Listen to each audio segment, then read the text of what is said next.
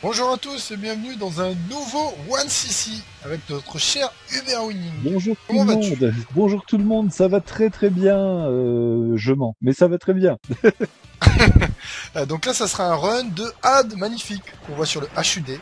Donc un grand merci à toi Ad pour nous proposer une vidéo et un run sur la petite sensation euh, du moment. C'est clair. Euh, n'est-ce pas? Je vais te laisser le prononcer à la française, Allez. parce que sinon à l'anglais, À la on va craquer. française, super XYX. Donc ouais, La Team Grisamber Fox. Voilà l'avant-dernière petite perle de la Team Greybanzer Fox, donc qui a été fait par euh, Grisor, enfin du moins Rosirg, vu qu'il a inversé le nom pour pas être mélangé euh, avec euh, d'autres Grisors euh, qui euh, sévissent sur la scène. Donc euh, le bah ouais c'est un jeu qui s'est fait attendre perpète. Donc je vous invite à aller regarder les les articles qui sont sortis sur le site. Parce que en fait Ton, inter- interview magnifique. Voilà, allez voir l'interview, va y avoir euh, va y avoir du sport, va y avoir du lourd. Des... Et donc on va causer vite fait du jeu parce que tout avance très très très très vite.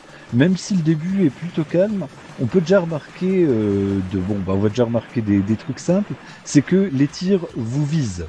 La plupart, il y a très peu de patterns, mais la plupart des tirs vous visent. Donc c'est pour ça que Had il est aussi mobile. Donc voilà, je voulais juste faire la parenthèse là vite fait. On va parler du HUD. Donc en haut à droite, deux vies. En dessous, une euh, chier de bombes. Il y en a six. Mais il y a une raison, c'est parce que les bombes ne se renouvellent pas à la mort. Donc c'est si euh, on en gagne au fur et à mesure, mais euh, voilà, tu meurs, tu gagnes pas de bombes. Donc on est déjà au premier boss. Donc là, pareil, c'est un boss à plusieurs parties. Il faut juste éviter les, les pluies, faut pas se faire piéger par les pluies de balles et les lasers, on peut les anticiper et les esquiver par l'extérieur. D'ailleurs, on remarque que Had choisit beaucoup les esquives des patterns par l'extérieur. Euh, parce que bah, on, a une toute petite, hein, un tout petit masque de collision, mais euh, la vitesse du vaisseau euh, te t'incite plus peut-être à faire des, des, des grands mouvements euh, parce que tu as une touche qui te permet de ralentir, mais c'est plus chaud. Là, donc le stage 2, ça te met déjà un petit coup de presse euh, correct, quoi. C'est quoi le juste en bas à gauche sur le HUD, les médailles Alors les voilà, ouais, t'as as les médailles qui, euh, bah, qui rapportent mais moult moult points. Là, bah, il a, il a déjà débloqué une nouvelle bombe. Et juste à côté, le combo, c'est le nombre de hits en fait. Donc euh, sur le premier stage, c'est quasiment impossible de le garder. Par contre, à partir du deuxième, tu peux, tu peux l'économiser. Là, Had, il fait une partie euh, prudente, on va dire. Donc, il laisse pas euh, survivre des ennemis pour euh, maintenir sa chaîne. Euh, il y va euh, comme un sauvage. Là, on vient de voir. Ouais, One CC là. Bah ouais, en- en mode One CC, exactement. Là d'ailleurs, par exemple, le- l'ennemi là, il peut se défoncer en plusieurs parties. Il va choisir de tout de suite défoncer le centre pour être tranquille. On voit qu'il connaît le jeu par cœur et qu'il connaît exactement sa, euh, son euh, comment s'appelle euh, point de point de vulnérabilité là, sa, sa, sa hitbox pardon. C'est juste le cockpit. C'est vraiment un tout petit point qui est à l'avant du vaisseau. Là, ça bouge trop, mais vous le verrez euh, assez rapidement. Là, voilà, c'est la petite zone mauve. Donc là, on est déjà à la fin du deuxième stage. Et là, il choisit de le battre à la régulière, c'est-à-dire ne pas se mettre devant les tanks, parce que bah, il vous tire un gros shoot devant. Mais par contre, vous pouvez vous placer dessus, sur le tank. Et euh, bah, là, le tank arrête de tirer et ne vous touche avec aucun de ses tirs. Donc même le pattern là, c'est le pattern en espèce d'étoile là, euh, il le lâche, mais vous êtes invincible. Donc lui là, il l'affronte à la régulière et ça montre qu'il est très faisable à la régulière. Eux, sans bombe ni rien. Ouais, là vraiment les bombes, il faut impérativement les économiser parce que à un moment on se dit oui, on est confort, on en a une dizaine, etc. Mais sauf que bah sur la fin, elles vont partir très vite parce que quand on perd une vie, on baisse d'un cran d'armement. Alors donc il va gagner des extends. Là je crois qu'il en a gagné euh, un. Bah voilà, oui, il en a gagné un au, point. Et euh, bah c'est, c'est- sauf que bah comme tu perds deux vies, bah tu perds deux points. Alors attention là, si vous voyez, il esquive ce petit point euh, d'interrogation. À juste titre, c'est parce que bah, le point d'interrogation là vous déclenche le bonus stage. C'est le seul moyen d'avoir le comment ça s'appelle le le, le, le- le TLB. Sauf que bah, ça vous fait un espèce de boss rush euh, avec des petits segments de stage assez péchus et le le, le, le, bah, en, fait, quand vous terminez, vous avez des, des vies qui sont dédiées à ce bonus stage. Si vous le terminez, bah, tant mieux. Si vous le terminez pas, tant pis. Par contre, euh, les bombes sont pas re-remplies. Ça fait que généralement, vous lâchez toutes vos bombes dans ce truc-là, et puis eh ben, après, vous êtes bézu. Donc là, c'est le petit passage un peu chaud. Le stage-là, il est un peu traître parce que les, euh, bah, les, les, les, bateaux, comme vous voyez, vous, vous euh, canardent à une, euh, à une cadence irrégulière en fait, et ils vous visent. Et il y a plein de canons. Donc euh, les routes diagonales, euh, où il y a les bagnoles qui, qui avancent, qu'on a vu tout à l'heure, et, le, et les bateaux, c'est vos deux ennemis. Donc là... Il y, a combien de vaisseaux euh, jeu Dans le jeu, il y, en a, euh, il y en a beaucoup. À la base, tu en as deux, et après, tu peux en débloquer jusque six. Ah là, on a vu la bombe, magnifique ah bombe ah, oui. Ah clairement, quoi, le, le, le, clin d'œil. Est... Et donc là, voilà, il l'a claqué parce que effectivement, dans ces routes diagonales, euh, bah, ça complique vachement euh, la, la, lecture en fait. Donc là, le boss là, il n'y a pas trop de problème. Faut juste éviter les lasers et bien reconnaître les lasers de couleur qui eux bougent. Alors encore les verts ils bougent, les jaunes ils sont voilà, fixes. les jaunes sont fixes, faut juste euh, voilà. Alors là, évite bien éviter la pluie et là il y a le cœur qui se révèle et là faut bien se positionner. Lui il, va, il a réussi à buter le cœur assez tôt parce qu'il était en armement blindé, mais sinon les petites boules qui se sont mises de côté vous tirent des lasers horizontaux, horizontaux et il faut se placer entre deux lignes de laser quoi tout simplement. J'adore comment les médailles défilent. Ah, et là, c'est, et encore là, il les passe en avance rapide. Là, il s'est fait plaisir, euh, Grisor. Il y avait eu des plaintes comme quoi ça durait trop longtemps. Mais, euh, alors, t'as une option où tu peux retirer le truc là et l'avoir juste, tu vois, une ligne qui t'annonce le nombre euh, de trucs, le nombre de hits, etc. Mais tu peux le laisser comme ça où t'as tout qui défile avec euh, les, les médailles qui se remplissent et qui se vident. Et moi, je trouve que c'est du bonheur. Voilà, 5 vies, le nombre de bombes, c'est beau. Mais là, on rentre dans, là, on rentre dans le sérieux, par contre. Le stage là, il commence à être un peu teigneux. Le précédent, c'était une petite mise en bouche de trucs un petit peu salauds, mais qui sont facilement repérables. Donc là, déjà, les trucs là, faut tous bien les repérer. Les petites méduses, il les a enchaînées tout de suite parce que les grosses méduses, euh, quand t'arrives au contact, déjà, elles te butent. Et euh, là, comme il a une très grosse force de frappe, il a pu la défoncer avant qu'elle l'accule au sol mais euh, ça s'est bien passé. Ceux-là, c'est des des petits reputes parce que soit ils balancent une, euh, un truc en cercle, soit ils balancent un truc qui te vise. Et t'as, as moyen de le savoir que quand le truc se lance, et il est très très rapide. D'accord. Et, oui, il faut dire que c'est un style old school. Hein. Vous prenez une boulette, euh, bim. Ah oui, ouais, là t'es sans pitié. Alors old school, oui et non, parce que t'as quand même un masque de collision qui est très très réduit mais euh, effectivement old school dans le sens où euh, voilà il y a, y, a, y a, pas de pitié. Tu euh, frôles l'ennemi parce que tu l'as mal jaugé tu te fais défoncer. Donc là ah c'est à la à plan. voilà à la à plan vraiment avec un masque de collision moderne on va dire. Là, il a utilisé une bombe à très bon escient. Là, il en réutilise une deuxième parce qu'il y a des petits fils de pute et la grosse méduse. Donc, très bon choix parce que les, les, les petites saloperies, euh, ben, c'est assez difficile de naviguer dans leur euh, pattern. Ça se fait vachement un peu à la moule. Là, pareil, tu vois, les, les, les tirs, ils, se, ils partent un petit peu dans tous les sens. Ils te visent, mais parfois ils te visent par grappe. Donc c'est assez dur à dire. Et là, le boss, donc, il va le bourriner frontalement. Là, t'as vu, le, le, boss, en fait, euh, te crée une espèce de... Euh, Là, on va peut-être le voir juste après. Ouais, voilà. Laser. voilà. Le laser, d'abord, il vise avec ses petits carrés et tout de suite après, il y a le laser qui part. Et tant que t'as pas pété ces trois parties, euh, les deux serpents sur le côté et la partie centrale, euh, ça continue à tirer comme ça. Et après, bah, t'as ces espèces de shurikens qui sont euh, au déplacement aléatoire et il faut niquer la, la, tête du serpent. Donc, un petit côté de Giger. Clairement. Donc là, il l'a eu ultra facilement, mais euh, les shurikens sont vachement moins faciles à naviguer que que ce qu'on pourrait croire. Là, il l'a vraiment, euh, il l'a eu au skill, hein, réellement. Parce qu'ils rebondissent de façon aléatoire, ça fait que ils, se bougent pas trop vite, mais faut vraiment connaître son masque de collision, puis pas prendre de risques et pas hésiter à claquer une bombe, sachant que l'avantage de ces bombes euh, à nombre fixe, c'est que si tu meurs, tu reviens pas à ton stock de bombes initial, il te laisse euh, toutes tes bombes. C'est juste que tu baisses euh, d'un cran d'armement, ce qui peut être très dommageable. Donc là, Ouais, voilà, t'as as des euh, comment s'appelle des volcans qui crachent et puis les pluies qui retombent sont vachardes. Les dragons euh, t'attaquent, alors ils tirent euh, toujours de face, mais ils se déplacent un peu aléatoirement.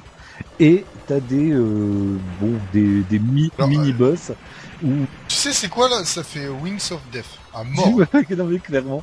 Bah, Wings of Death, et puis aussi j'avais pensé à une petite, un petit passage de, de, de Crimson Clover, tu sais, il y a le, le, le, côté avec les, les, dragons, euh, il y a aussi ça dans Mushit, c'est un, un, un classique quoi. Mais alors, ouais, les, les dragons là, euh, soit ils ont le, le pattern, c'est-à-dire qu'ils crachent une euh, ligne de boule qui partent une sur deux de chaque côté, donc euh, elles sont pas trop rapides, soit c'est une pluie verte de plein de petites boulettes et là faut naviguer. Ceux-là, les ennemis là, tu peux les déboîter si tu veux, mais lui il se fait pas chier, il attend juste, vu qu'il tire qu'une fois et après il se bat, il est pas là pour scorer, il est juste là pour, euh, pour terminer le jeu. Donc euh, voilà, là ils reviennent, là ceux-là ce sera dès qu'il crache, voilà, c'est une, une avalanche, là tu vois il s'est pas donc il a pas hésité, il a très bien fait. Là, euh, bah, pareil, il y a de nouveau les volcans, les dragons, mais quand t'as une grosse force de frappe, ça pose pas trop de problèmes en vrai. Les petits dragons, c'est un peu des parce qu'ils te lâchent des grosses boulettes frontales qui peuvent te prendre en traite parce qu'elles sont de la même couleur que ton tir. et là, Dragon. et là le boss. Donc là, bah, il se place ici avec. Qu'est-ce qu'il est beau. Oui, ouais, ouais, vraiment. Donc, euh, bah, faut éviter la flamme euh, latérale. Et lui, à chaque fois, voilà, à chaque fois qu'il va, va faire son premier tir, il va balancer une bombe pour pas se faire coincer. Et là, quand il y a des warnings, euh, sur toute la zone où il y a du warning, il va y avoir de la boulette. Donc, faut se placer en dehors des zones warning.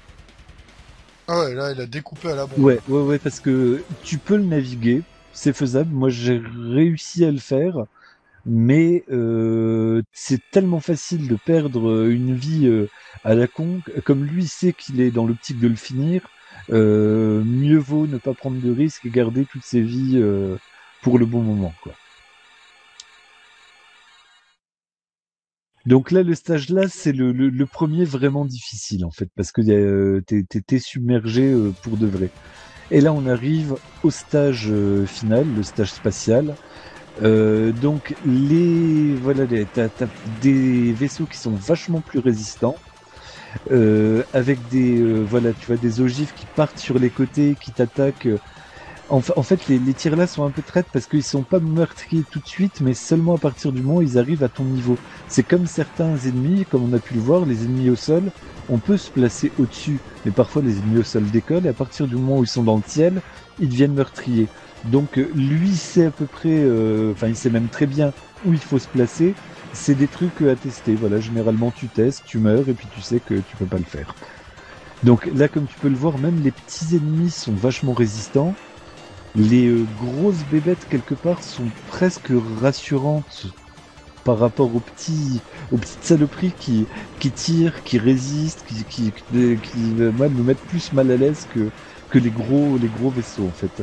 Là, les, les petites qui se dédoublent ou euh, suivant, la couleur, suivant la couleur, ils ont pas le même pattern, donc faut bien repérer la couleur, etc. Donc là, j'ai... Il y a beaucoup de choses à l'écran, Hubert. Ouais, ouais, ouais, là, t'es chargé à mort.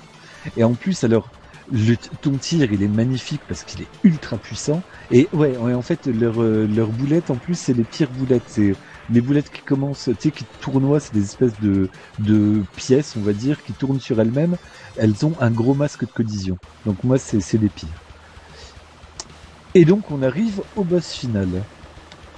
Donc, euh, bon, là, il va utiliser des bombes. Le pattern il est assez facile à éviter parce qu'il est très lent. Donc, euh, lui, il va choisir... Ah, d'accord, ok. Voilà. Il va claquer une bombe tout de suite, alors qu'il il aurait pu naviguer. Mais en fait, il y a, euh, voilà, Donc là, le seul truc qui est vulnérable, c'est le centre de l'œuf. Et tout ce qui est autour tire voilà des petites boulettes qui sont plus ou moins aléatoires, donc euh, il fait du nettoyage avec les bombes. Là, encore une fois, parce Il est coincé, bah, oh, a la bombe la bombe c'est du bonheur, c'est tout le temps du bonheur la bombe. Et donc euh, en, bo- en bombant comme ça, bah, du coup il, il a complètement affaibli la coque et en plus il a attaqué le centre directement. Ça fait que ça débloque tout de suite la deuxième forme. Et là pour ceux qui ont euh, cauchemardé sur euh, sur comment ça s'appelle Shinobi, bah, ça doit leur rappeler quelque chose cette petite statue. Bon, ça, il y a il y a aussi dans un shmup, il y en a aussi, mais euh, moi ça m'a tout de suite rappelé Shinobi. Donc là, c'est là où t'as besoin de tes bombes, parce que les euh, les petites barrettes là, elles elles t'attaquent, elles te visent, mais en plus elles t'attaquent par vagues. Alors autant les boules rondes que les statues, bah voilà, là il perd une vie. Les boules rondes que les statues t'envoient, ça va, tu vois, tu tu peux les esquiver correct, mais les trucs, euh, les petites barres là euh, roses, elles sont infernales.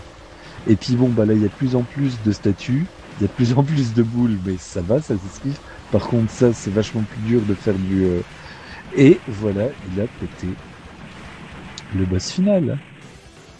Bien joué Donc, le, jeu, il est ultra dense. Là, ça pourrait avoir l'air facile, dit comme ça, tu vas vite fait, mais en fait, euh, comme vous pouvez le voir, à partir du troisième niveau, ça commence déjà à être assez dense. Il y a des euh, petits segments qui sont assez brutaux. Et euh, bon, bah, le boss final, il demande beaucoup de bombes. Et si en plus vous avez décidé de, de une petite fin bien sympathique, un petit peu androgyne, Ouais, les- non, pas du tout, ouais.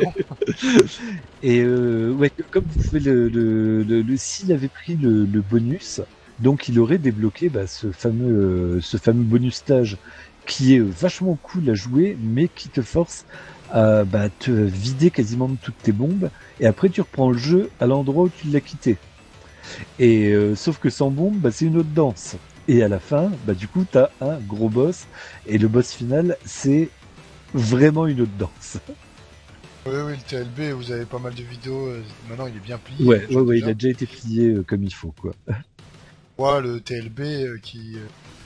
Tiger machin, je crois, qui est très très bon. Ouais, ouais, ouais, il, a vraiment le charisme qu'il faut. Bah d'ailleurs, il y a, euh, il y a évidemment, comme dans tous les jeux de la team Grey Bandozer Fox, il y a, il y a des modes à gogo, des modes cachés, des persos cachés.